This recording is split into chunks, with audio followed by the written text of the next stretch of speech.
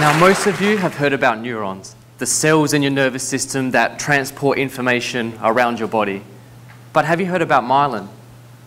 Myelin is a structure that tightly wraps around the length of your neuron, and this structure is incredibly important because it allows your neurons to speak to each other effectively. Without this myelin structure, your ability to see, walk, or think may be affected. In a healthy nervous system, the myelin tightly wraps around the neurons, like the picture in the top left. However, there are certain conditions which may cause this structure to be compromised. One such condition is neurotrauma, that is brain and spinal cord injury.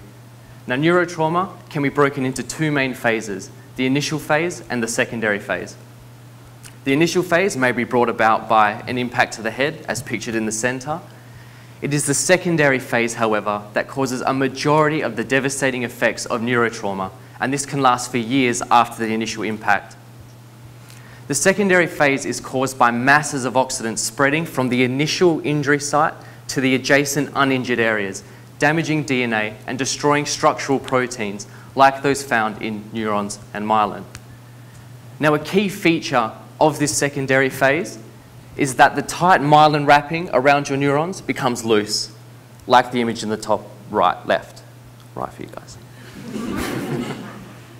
now, the, one of the main reasons that this is thought to occur is because the myelin stem cells that normally replace and repair damaged myelin in a normal healthy nervous system die following neurotrauma due to the exposure to these oxidants.